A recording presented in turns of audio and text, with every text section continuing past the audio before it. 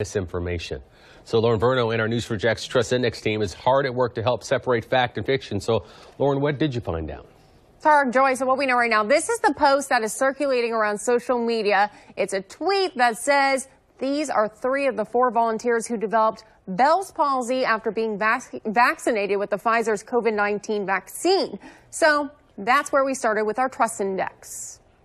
This is something that's popular going around social media now, particularly amongst the anti vaccination crowd. UF Health Jacksonville Director of Infectious Disease Chad Neilsen says misleading posts like this one are very common and reminds everyone not everything you read on social media is true. There's no evidence of that for this vaccine yet. Um, certainly, when Pfizer released their clinical trial information, uh, the adverse events were reported. There was nothing serious. Uh, I'll go on and say there were deaths in the clinical trial. I'll go on and say there were deaths in the clinical trial. None of which were due to the vaccine.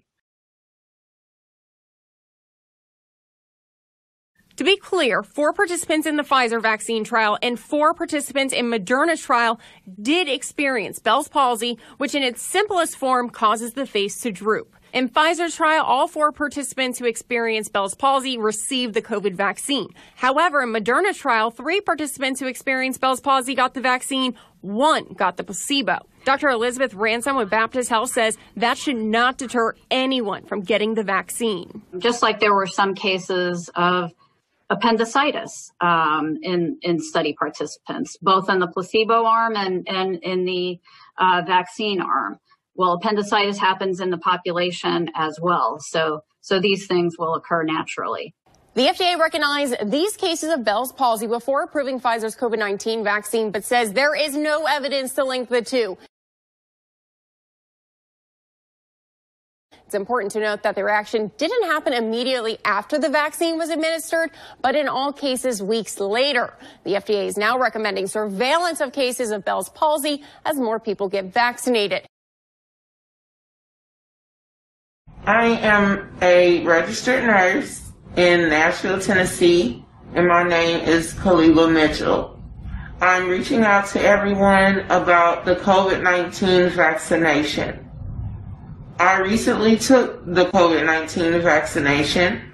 After the shot, I felt fine, but within three days, I went to the doctor because I had problems with my face the whole left side of my face, actually. Um, I have Bell palsy now. And as you can see, I can't smile. I'm trying to smile. I'm just getting embarrassed for it. But I just want everyone to know that I think this vaccination is the worst thing ever. And I would not give this to anybody even my worst enemy. Please, America, they do not care about us. Do not take this vaccination. The side effects for the Moderna vaccine sound concerning. We looked.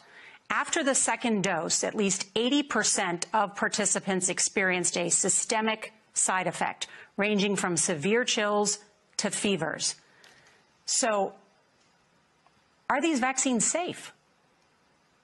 Well, the uh, the FDA, not being pressured, will look hard at that. The FDA is the gold standard of regulators, uh, and their current guidance on this, if they stick with that, is is very very appropriate. Uh, and you know, the, it, the, the, the, the side effects were not super severe. That is, it didn't cause permanent health problems for uh, the things there. They, you know, Moderna did have to go with a fairly high dose, and so, uh, you know, to get the antibodies. Some of the other vaccines uh, are going able to go with lower doses to get uh, responses that are are pretty high, including the the J and J and the Pfizer. And so, there's a lot of characteristics of these vaccines.